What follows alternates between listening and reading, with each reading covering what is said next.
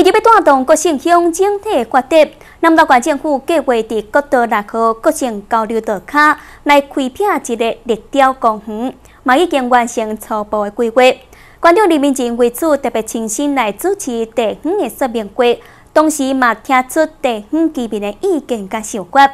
南投县政府就表示，将会投入四千万的经费来打造立雕公园，假使顺利的话，希望赶在咧今年十月份会当来落实启用。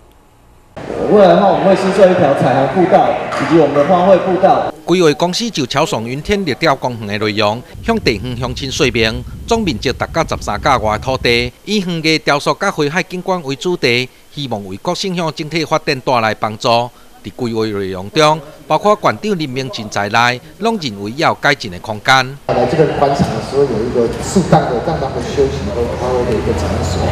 哦，加了伯爵休息空间呢？你这个十几公顷环绕起来，应该可能从漫步到从进进的园区到回来，应该应该起码要两个小时。你超过我啊十公里哦，你你要行行一下啊，你要跳过。你要认得我做一个量体哦，我们想营造一个这个合体咖啡的想念哦。我想他那边合体道合体道路上方有一个河岸，即使那个地方如果我们摆了一个桌子，然后一个雨伞在那边喝咖啡，年轻人是很喜欢的哈。另外，如果干那花海、甲立雕艺术造景。地方居民嘛认为内容实在无够创新，希望会当增加一寡在地文化内涵，甲吸引人的特色。我们这里是呃福龟嘛，福气的长寿龟啊，所以我希望说那个雕啊，就是说那个大型的那个那个雕像应该可以做那个呃长寿龟。你这么收钱的物件哦，你第哦一次就要打响打响个门号出来。